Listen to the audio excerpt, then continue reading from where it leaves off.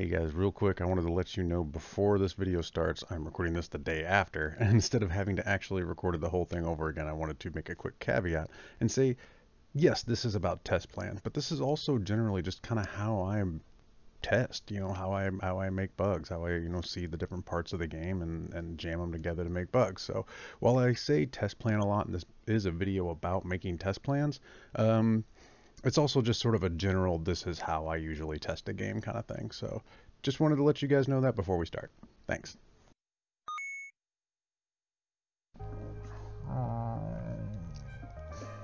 So, I've been putting this video off for a little while. So why have I been putting it off for so long is because test plans are such an unbelievably broad thing.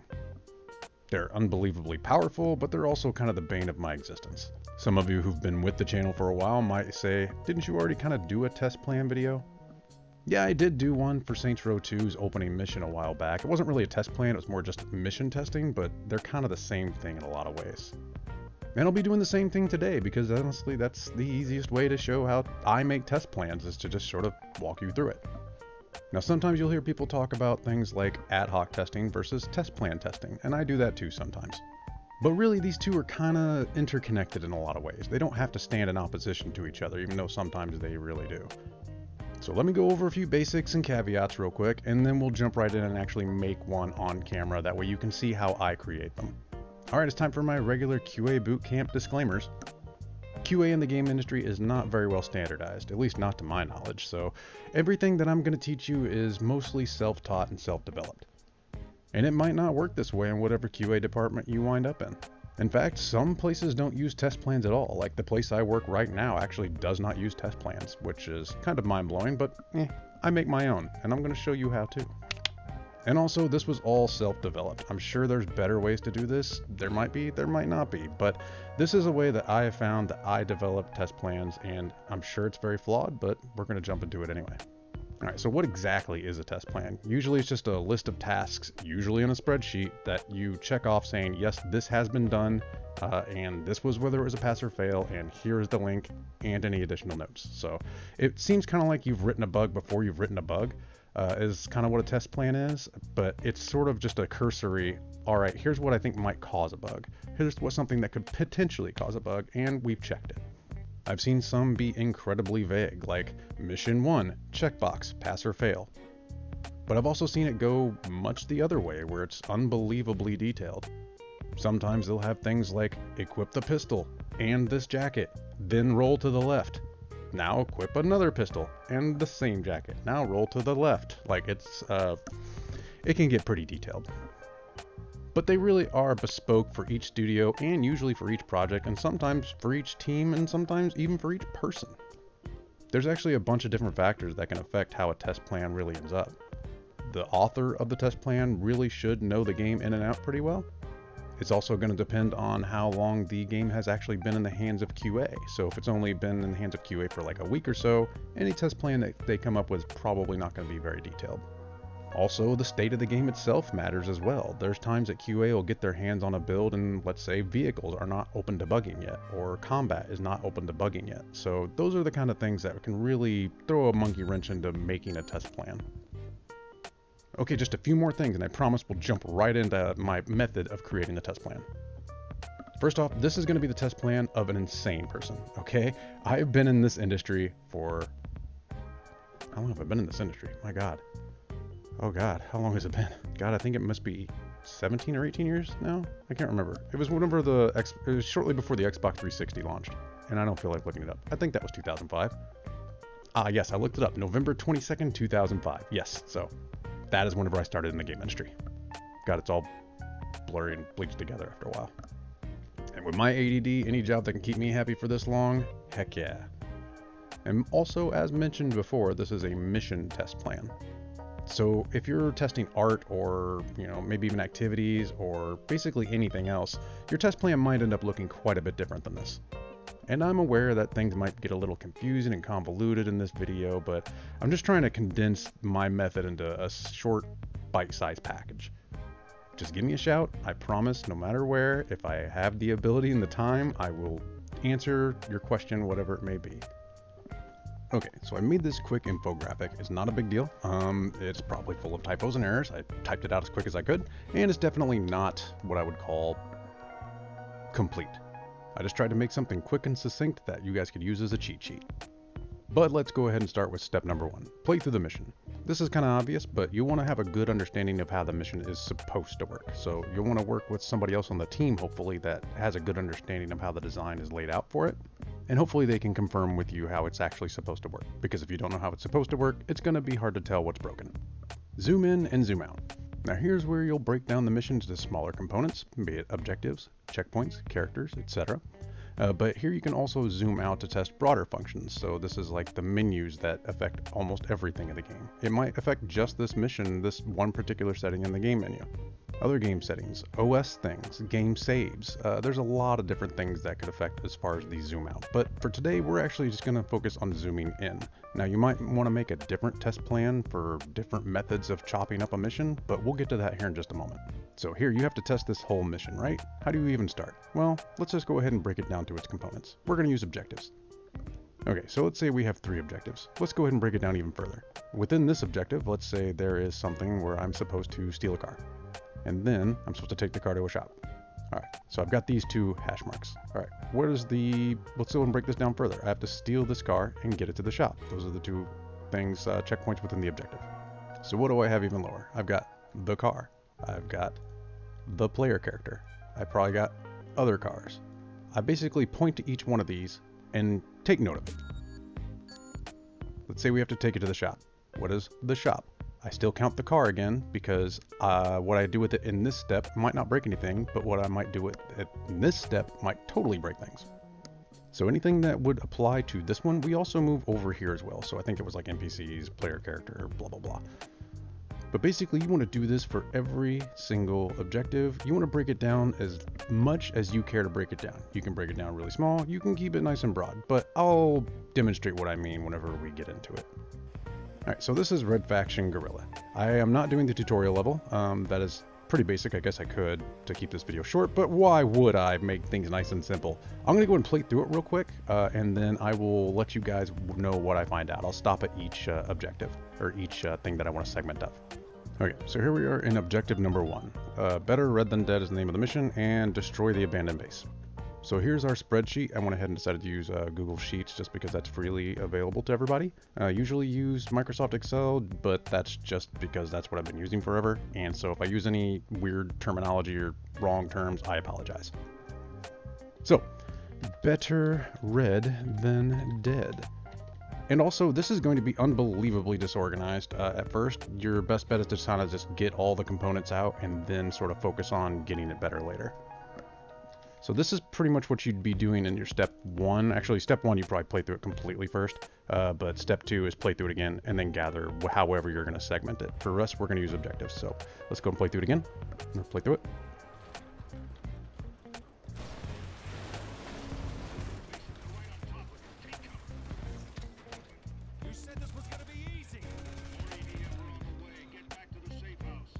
Okay, so our next objective is get back to the safe house.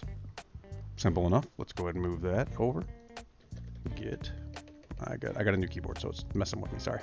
Get back to the safe house. I think that's what they said. Yeah. Yeah, get back to the safe house. Sorry. Okay, so we got our two objectives. We got objective one, objective two. Pretty simple mission overall. All right, so let's go ahead and say what the, uh, oh yeah, let's do our next test, I guess. Gather, go ahead and gather our, our entities. Um, all right, so we got our player character. And since uh, that's going to be in the same one, or same, that's going to be something that carries over from objective to objective, we got that. Uh, what else we have? We have the uh, EDF show up, but they don't show up until objective two. Well, actually, they could be out and about, but that might be a, a different, that's not, less of an entity, more of an agent of chaos, but we'll get to that later. So, uh, the scripted EDF. Scripted. Okay, so I went ahead and cleaned this up a little bit, but uh, just so you know, any test plan you make, it can be completely different looking depending on what you're doing. So let's go ahead and, uh, yeah, I'll, I'll, let you know if you wanted to make one that looks completely different, please by all means, you're not doing it wrong or doing it right, whatever works for you works best. Okay, so this is being super basic with our entities, but I could sit here and try and find a bunch more, but I don't want to do that. I want to go ahead and get back into the meat of the actually creation of it. Full disclosure, I did work on Red Faction Guerrilla, so I do have some intimate understanding with how it works. But, that being said, um, back in the day, you used to actually be able to get the EDF scripted to show up earlier than what they're supposed to, the objective to. They actually kind of just showed up whenever you got to the base. Um, and I actually, I broke this mission by frequently getting the EDF to show up and then them be the ones to blow up the base and actually destroy it. But yeah, for some reason, the EDF blowing up the base, the game was just listening for if the base had been destroyed by the player. It wasn't listening for just if the base had been destroyed. Okay, so next step is to gather our Agents of Chaos. What would those be in this instance? In Red Faction Guerrilla, what would those be for us? You notice I removed the uh, Agents of Chaos uh, thing here. It was all the way to the right eventually, or initially. Um, what I try to do is I try to keep the Agents of Chaos a little bit separate. So we're going to go down here and we're going to say the Agents of Chaos and we're going to list them here. NPCs, EDF, uh, ambient. We're going to make sure to put ambient there because they're not the ones that are scripted by the mission. They weren't scripted by, they weren't created, they weren't spawned using the mission script. They were just spawned because the EDF spawned naturally in the world. Vehicles, which uh, a lot of times people lump those in with NPCs, but I don't. I think they usually have wildly different uh, AIs running at a particular time, so for me, they are a completely different thing. I switched this up a little bit too, just to better represent exactly what it is we're saying we're doing with it. Don't worry, we'll get there. Okay, so I went ahead and changed this uh, label real quick just to be optional modifier to better sort of label exactly what I'm doing with it. Okay, I'm sure I could gather more Agents of Chaos, but I probably don't need to for the sake of this video, but let's go ahead and keep moving. The last thing is, the best part of the whole friggin' thing is get creative, man. Uh, let me see, you've made up your list, now's the fun part. Get started, get inventive, jam those various components together in every way you can think of, and make things break. Okay, so now that we've got these together, let's say, what are the different things that I can do with my player character? Let's go ahead and add in a few more lines here. So what can the player character do? They can die. They can leave the mission area. Kill a bunch of NPCs. And that would be one of our modifiers. So if you're ever coming up with ideas, so like I, I, say I don't have any other ideas other than die, leave mission area, and kill a bunch of NPCs uh, for the player character. I can't think of any other test to do with the player character during this objective. So, all right, so let's say, all right, die. There's a lot of different ways to die. So I changed the top one to die via fall damage. Um, and let's say, look at our Agents of Chaos. Uh, EDF amb Ambient. Sure, let's look at our player character. Let's cross-reference them. What can I do with my player character and EDF Ambient? I could die by the EDF. And went ahead and change this to leave playable area because leaving mission area is probably a completely different failure state for the mission uh, than just dying. All right, I've got die via pit. There's pits in the game. I can add that to my Agents of Chaos. Uh, Abyss. How spell Abyss? Here's how you spell Abyss. I'm a terrible speller. Oh yeah, I, am a terrible speller and grammar. That's why I always constantly preach proofread, proofread, proofread because uh, if I ever write something right on the very first try, it's probably pure dumb luck or the fact that I've probably written that exact same bug in some way, shape, or form a thousand times. And obviously some of these things can fit into different categories, so the playable area could be its own mission entity, and you can find different things to do with that. So you can leave it up here if you want, but I am going to put this right here, sort of cross-reference it.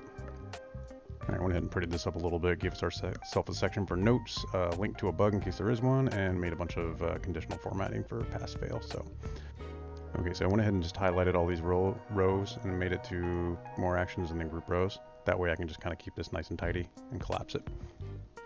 So let's say fall damage acted normally, pass, perfect. Uh, let's say dying via ambient uh, EDF failed. Let's say, and you'd say exactly what happened. You'd want to give more details. On a pass, pass, on a pass, you probably don't need to add any details really here, um, unless you feel like there's something that still needs to be said. Sometimes there is. Uh, but as far as the fail goes, you probably want to add a few notes as exactly what happened, even if it's something that just you want to come back later for. And then here's where you'll put a link to the bug after you've posted it. Now, sometimes some people have a last date tested. Um, I don't usually have that, but it can be very handy sometimes to know that, all right, this test has was done, which is great, um, but we don't know when it was done last. So maybe it was something whenever the mission was completely different and it needs to be tested again. Okay, so we're still on our player stuff uh, here. So I don't think we have anything else. Is there anything that our players can interact with the NPCs? Um, kill a bunch of NPCs, that's right. Uh, let's see, NPCs, um, killed by, by, oops, killed by hostile NPCs. Let's see, what else? We got EDF Ambient, we still got something up there. I don't know, there's probably some other EDF Ambient stuff that we could look into, but again, I don't want to get too crazy here. This is a test plan, and you're already probably starting to see how insane test plans can get every single little idea you can think of usually can be applied in more than one place. That's why I keep the Agents of Chaos separately. Because with the Agents of Chaos, you can apply them usually to every single objective. Now, that leads me to another point. There's a lot of tests that would apply to every mission, not just every objective. So, player death is one of those things. Or being killed by ambient EDF. Let's say that's one, for instance. So if I think of one test that I can do in any mission, or just at least a lot of missions, I put it separately, usually in a separate tab. Like, I'll make a completely different tab for them, and then sort of copy and paste them over to the uh, mission tabs. But it, thinking of just that one idea causes your test plan to balloon quite a bit, because then you can try it in every single mission, and then, yeah. But let's keep going on a few more examples real quick, just so I hopefully have a good idea of what I'm actually telling you guys. Hopefully it's not too confusing. Hopefully I've done a decent job of this. This is my second attempt trying to make this video, and I'm really hoping that it's the last, but eh, if it, I don't like how it turns out, I'll probably either post it and then make a new one later, or just not post it and make a new one later. I'm rambling. Okay, so let's take a look at our abandoned base, just to be sure. Hey, another Agent of Chaos. Vehicles. Player controlled vehicles. Player vehicles. Now I've come up with another variable to add to all of these. So I can go down the list. All right, player character. What can I add player in a vehicle? Oh, I wonder if I could kill myself with my own vehicle. Oh, maybe I can also... So I can now say, what happens if I leave the um, playable area in a vehicle? Will it blow up? Will it cause problems that way? I've had times where you have and this is not a joke, uh, and Saints Row 1, I think is what it was, uh, our streaming system can get a little funky sometimes where if you were in a vehicle, drove it into the water, that was out of the mission play area, and that timer that says, hey, you better get back to the mission play area, uh, ran out, you would fail the mission, but then warp back to the mission start while still in the driving position, and you wouldn't be able to move. So that sounds really, really weird, but it's gonna happen to somebody. All right, so how else can we use player vehicles? I come up here, what if I found a way to destroy the abandoned base with the player vehicle? What if I found a way to do it with NPC vehicles? What if I found a way to make NPCs destroy the abandoned base? I don't know why I said that like uh, Jerry Seinfeld, but we'll roll with it. But yeah, uh, basically every time you sit and think of a new agent of chaos or a new entity, you can usually come up with basically a multitude of, of tests by sort of taking that component and then jamming it into all the other components and seeing how you can make them interact. But that's really the long and short of how I personally make test plans. Uh, I'm sure it's not perfect. Obviously, it's very ugly right here. Uh, I promise whenever I have it finished, it's usually much prettier looking, much easier to read. Um, but really, this is the crux of it. It, it looks confusing. Um, we'll go ahead and uh, step through objective two just to see if there's anything we can think of there. Uh, like say the EDF scripted. What if I killed by, what the player's killed by those EDF scripted? So we can do that right now. We would put that up here, insert one above. Uh, let's see, modifier. Oh yeah, we need to say what the test description. I kind of missed those. Um, so all right, abandoned base. Uh, get NPCs to destroy the base um, destroying the abandoned base with a player vehicle. Getting NPCs to drive their vehicle into base.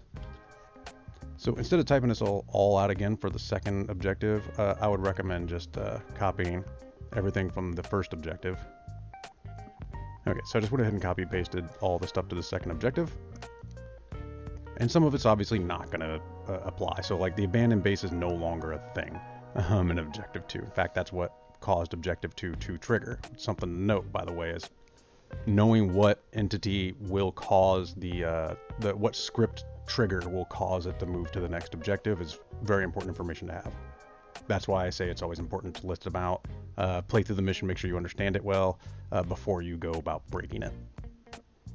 But as you can see, this is why I've been putting this video off for so long. It is, it seems super duper uh, complicated, and, and it can be, depending on how complicated you want to make it. Test plans can be unbelievably powerful. They can be unbelievably frustrating. Okay, so let's go ahead and test a few of those things, or one of those things real quick, to see if we can't figure out if whether it fails or not is irrelevant. It's about whether you actually do the test and knowing whether it get marked got marked off. Probably the simplest one is going to be to just get outside of the mission area. That'll be our, our probably our simplest, easiest, fastest, not going to break anything, probably, uh, test. But that's not the point. The point is that it needs to be tested. That it doesn't matter whether it passed or failed. Having that checkpoint and say it says failed. All right, that's what we expect. Now, if I hit continue and something breaks, then that's a problem.